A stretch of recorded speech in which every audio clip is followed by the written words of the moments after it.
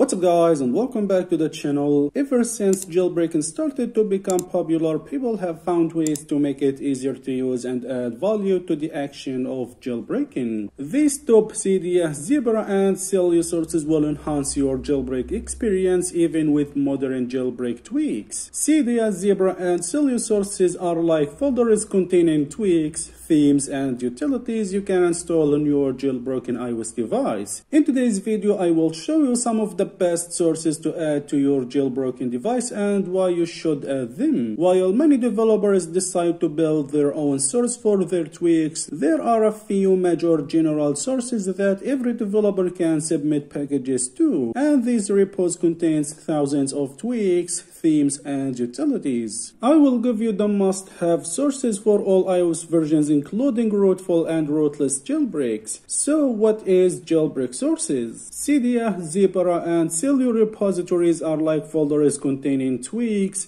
themes and utilities that you can install on your jailbroken iOS device. Jailbreaking has largely followed apt and dpkg utilities, so it's no surprise that we settle for repos and the packages for tweaks. Whether you are new to jailbreaking or have been getting in on iOS device hacking for years, knowing which repositories and sources are compatible with the latest version of iOS is paramount. Thankfully, I have a great list of the repos that have been given the go-ahead for iOS 12 and later when using unc0ver, palera1n, and Dopamine jailbreak. The sources that I'm going to show you today is very important and you should add them to get the best experience. So now I will show you how to do this. To get all the important sources, first go ahead and download this app which called Repo for Tweaks. This amazing app has been created to make it very easy and simple to add many sources with just one click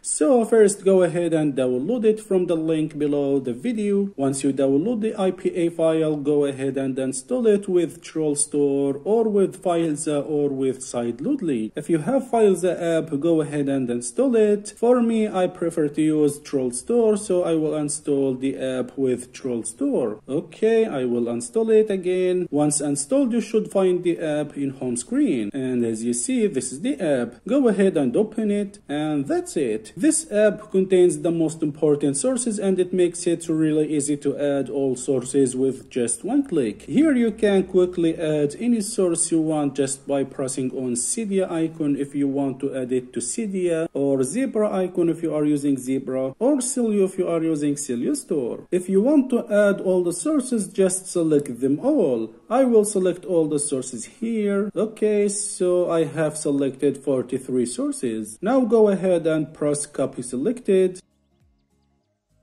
And as you see all sources are copied. Press ok now you can easily add these sources to cydia zebra or Sileo store with just one click. Go ahead and open your favorite package manager. I will open zebra package manager here go to sources section. Here as you can see I have only one source. Now I will add all the sources that I have copied. Press on add button at the top left here. It will ask you to allow pasting. Hit allow paste. Now what you need to do here is press on add multiple.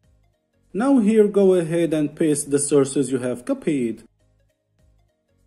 As you see this is all the sources. Now hit add button and that's it. Now it will start adding the sources.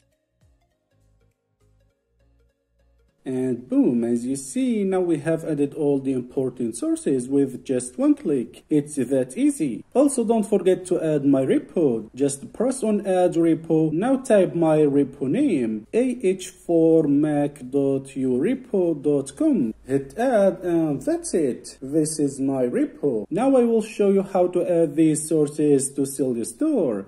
Open Sileo Store, go to sources section, hit on plus button to add sources, allow paste. As you can see, I have already added sources, so now it shows me the sources that I haven't added. I will remove all the sources and add them again.